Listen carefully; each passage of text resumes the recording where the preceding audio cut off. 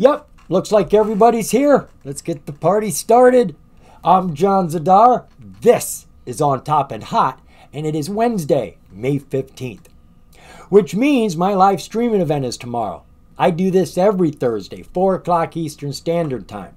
Me and my co host Taylor, we go on live for about an hour and a half, and we're taking requests from viewers like you, looking at stocks you want us to look at.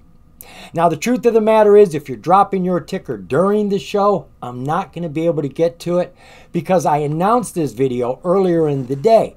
And when I do that, the comment box comes up and people just start dropping their tickers in early. And I do go by first come, first served. So by the time four o'clock rolls around, I've already got seven or eight stocks that we got to look at. And that's really all I can look at in an hour and a half. And that's a pretty long show. So, what I'm saying here is if you want your ticker looked at, don't drop it during the show, drop it in the queue early, before 4 o'clock. Wherever you follow me, Twitter, Facebook, Discord, I will drop an announcement there around lunchtime. You can drop your ticker then. That'll get it in the queue, guaranteed, and it'll give me more time to go over the information for you. That's 4 o'clock Eastern Standard Time, Thursday, every Thursday. So, what I like to do on this show, folks, is share some personal due diligence with you on a hot penny stock.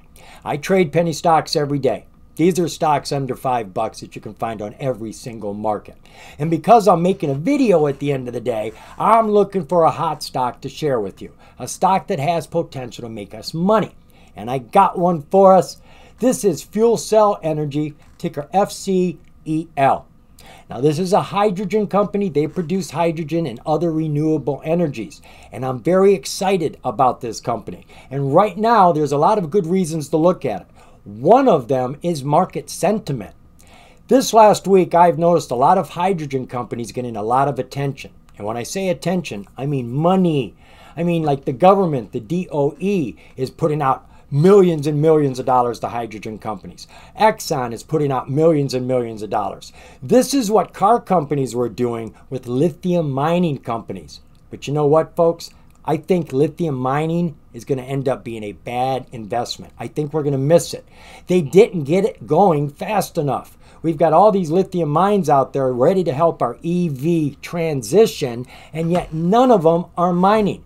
So now we're turning to hydrogen. And guess what? Hydrogen is cleaner all the way around. You don't have to recycle it, you don't have to rape the earth for it, and there's a lot more benefits to dealing with hydrogen than there is lithium. And I'm very excited to share this with you. Now, we're not looking at this stock because she had a hot chart.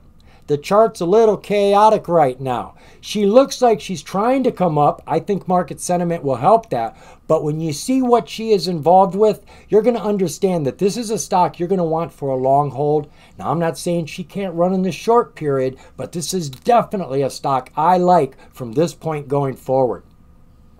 So FCEL, this is fuel cell Energy. She finished today at about 85 and a half cents, and she was down today about 3%. Now this is a penny stock. Well, this is going to be exchange. difficult She's on the Nasdaq, my best which means you're easy. never going to have to pay to buy or sell your shares. You can also trade this pre-market, aftermarket, and let's face it, folks, it's just safer to be up on the major exchanges. There's a lot more rules and a lot more oversight up there. So, what is fuel cell Energy about? FuelCell Energy Inc. is involved in the design, manufacture, operation, and service of fuel cell power plants. Let's get a little deeper. Fuel Cell Energy Inc. is a global leader in sustainable clean energy technologies that address some of the world's most critical challenges around energy, safety, and global urbanization. It collectively holds 531 fuel cell technology patents in the United States and globally. As a leading global manufacturer of proprietary fuel cell technology platforms, Fuel Cell Energy is uniquely positioned to serve customers, including businesses, utilities, governments, and municipalities, with sustainable products and solutions. The company's solutions are designed to enable a world empowered by clean energy, enhancing the quality of life for people around the globe. Now, we're going to jump on over here to their website, which has a lot of information. Let me shrink that down. And we're not going to go through all of this, folks. There's a lot of science backing up what this company does. But I'm going to do my very best to keep this simple and generalize it. Now, it really isn't important how they do this. What's important is the end results. They have a process of capturing CO2 from big industrial companies, utility companies, uh, steel manufacturers, glass manufacturers. They grab all that smoke and smog coming up out of that stack, which has oxygen, nitrogen, and CO2 in it. And it has always been a problem separating these. Well, they have found a way to do this and not just get it done, but get it done with benefits, some mind boggling benefits. When they do this process, they get a lot of byproducts. And I'm talking about taking the CO2 that they captured and processing it. When they go to process it, they don't use any outside energy, no electricity or fire or anything like that. They kickstart it by using a little bit of methane and then the, the whole process starts. And what they end up creating is an innovative solution to help modernize the grid with decarbonized electricity. That's the first thing they create is electricity, and they are not putting any CO2 emissions off doing this. And we're talking about electricity regularly, constantly, 24 7. We're not waiting for the sun to shine, we're not waiting for the wind to blow. This is consistent, so you don't even need to connect to the grid. You're getting all the electricity you need right here. Also, in the process of cleaning out that CO2, they actually create hydrogen, hydrogen energy that we're going to use in our fuel cells in our vehicles for our transportation. These fuel cells that they're using generate a lot of heat. This could have been lost, but they have captured that heat and they're recycling it into the buildings to supplement our heating bills. And last but not least, another benefit of this, which was a byproduct they could have thrown away, is water. Fresh water. Now, this impresses me, folks. Not only are they not tapping into the finite resource of the world with the waters we have, they're basically creating their own water by going through this process, but they're actually creating fresh, safe water that has no forever chemicals in it, that have no drugs in it because we've been flushing them down our toilets for decades. This is fresh, clean water. So the process of capturing all of this and then cleaning it produces hydrogen, water, heat, and low cost electricity that the company can use consistently. I mean, you talk about becoming self reliant. Now, the company's grabbing a lot of attention right now. They've got about a hundred of these facilities built around the world on three different continents. And they too are getting a lot of attention from big admirers like Exxon. And I'm going to share that information with you here in a minute. But right now, let's go take a look at the stock.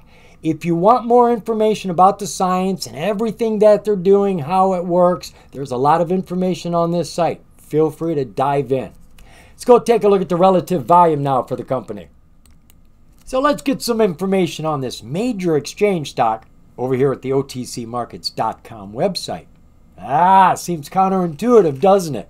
Well, contrary to popular belief, this site doesn't just carry stocks from the OTC market, they carry every single stock on the market. How about that? So we are looking at the relative volume for fuel cell energy over the last 30 days, she's been roughing it at about 35 million, which really isn't under the radar. And today she did bump that up to about 37.5 million. Sorry to see that extra volume going towards selling instead of buying. Share structure for fuel cell? Yeah, it's kind of high. We got about a half a billion shares outstanding, 451 million. I don't know what the float is. They don't tell us. They don't tell us what the insiders own either. I could just subtract that from the outstanding share count, and that would tell me the float. So all I know right now is that our float isn't going to be any higher than the outstanding share count. 451 is the maximum. Egads. And it won't be any lower than the criteria for the NASDAQ. Can't have any less than 1 million. So our float is somewhere between 1 million and 451 million. Market cap currently is just about 400 million. Taking a look at the financials, Well, their revenues have been growing over the last four years. They started here at about $70 million four years ago. We know that's millions because we've got to add three zeros to any of the numbers on any of these charts. By 2022, they had almost doubled that to 130 million, and we've just pulled back a little bit here at the end of 2023 with 123 million. The bad news is they have never made a profit these last four years. They're losing all kinds of money, millions and millions of dollars. Let's look at the quarterly, see if it's any better. Yeah, for one quarter, they made 5.2 million in one quarter, but all the other quarters were losing money. And they are losing revenues now too. They were up near 37, 38 million a year ago. Right now they're down to 16, 17 million dollars. Let's take a look at that balance sheet. Is it any better? Well, they've got money in the bank. We got about 303 million in the bank. And assets, woo, we've got almost a billion, 923 million. Liabilities, oh yeah, about 200 million, which means we've got positive stockholder equity in this company even though their revenues are horrible and they're losing a lot of money right now, they have solid stockholder equity of $663 million. That's great. We can fix the revenues. That's a temporary problem. Take a look at the disclosures. Right, we had a lot of disclosures over here. I went through all of these, folks. We have a lot of Form 4s here. Form 4s you always want to look at. These are filed whenever the insiders acquire or dispose of the company's stock. Now, they can do that in a lot of different ways. We as investors are primarily interested when they buy them or sell them. None of these are purchases or sales. They're compensation for uh, payment, they are restricted shares, things like that. Then we've got a bunch of 8Ks here, and a couple of them were very important but they do correlate the news. So we're going to look at the news rather than going into the filings. the news has been very strange today. Every time I came to this page, it was empty, blank. I had no news here. So I did all my research and due diligence online. Well, just before I started to make the video, it popped up, which I'm glad I didn't see it earlier because there's a very important piece of news I'm going to share with you that is not listed here. Now, there are two pieces of news here that caught my attention. One of them I want to share with you. We had one that came out April 11th.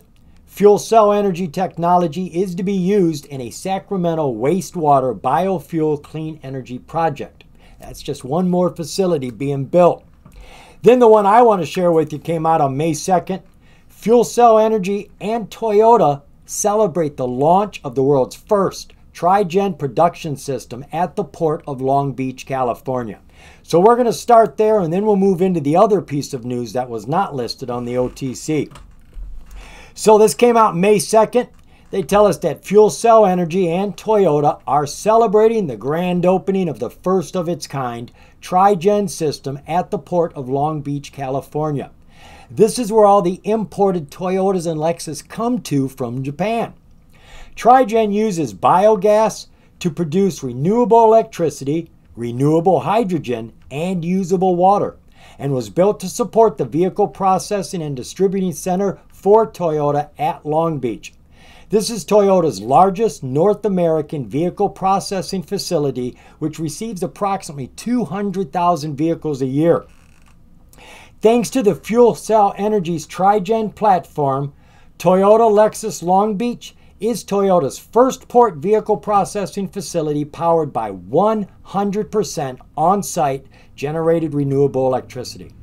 They don't need any electricity from the city. They are giving themselves everything they need plus more.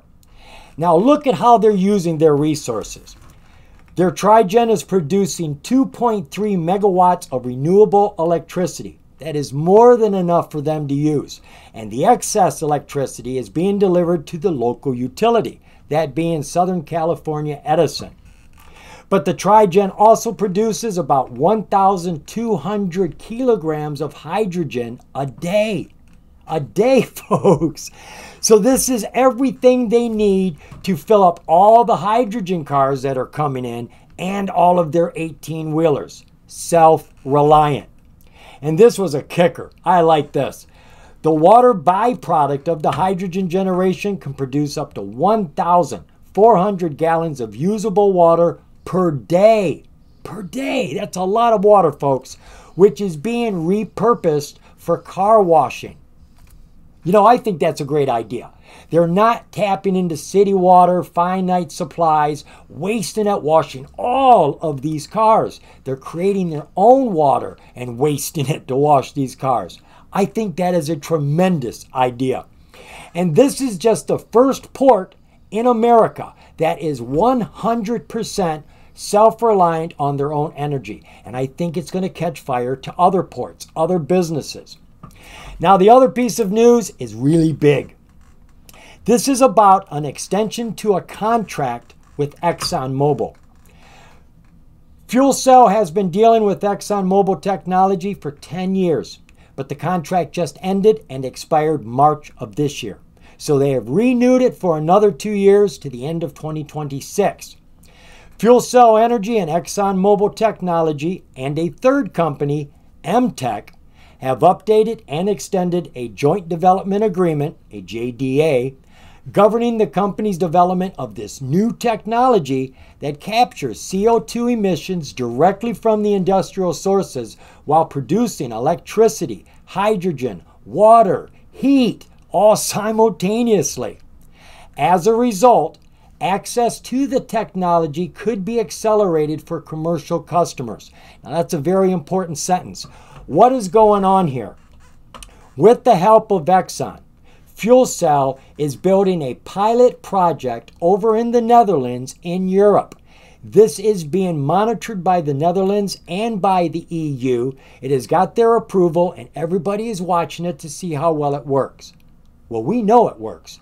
There's about a hundred of them out there right now doing everything they're supposed to. So when this is successful, they tell us that the customer base that Exxon has over there in Europe, they're going to turn on to this. They are going to turn on the small to mid scale opportunities, smaller businesses. This is a large scale operation. And if you can work with a big company, it's going to work with the smaller companies. Now, they don't tell you here, but when you go over to the 8Ks, there's a lot of extra information about these deals over there.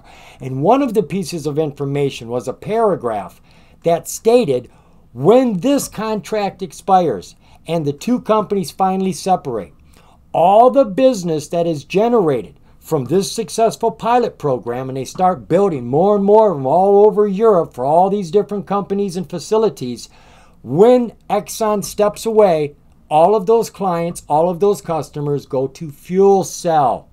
Fuel Cell will not lose them. So between now and then, they have got this giant company, Exxon, supplying them customers that they're going to be helping implement this technology. And when Exxon steps away, it is going to be all fuel cells. That's exciting, folks. That's darn exciting. So I think hydrogen is where we're going. We're going to bypass lithium. EVs are going to become HVs. We are going to be using hydrogen for all sorts of things, not just our cars. And as you see, we're producing water, electricity, heat, all by cleaning the air, by capturing carbon, taking dirty laundry and processing it. And when we're all done, we have new clothes. This is magic, folks. This is magic technology, and I think it's going to be super duper hot. Even though the chart doesn't look all that great right now, I think now would be a good time to consider an entry. Let's go take a look at that chart. Now, the best part of due diligence the charting. We're going to chart FCEL, fuel cell energy, on my free trading platform, Thinkorswim.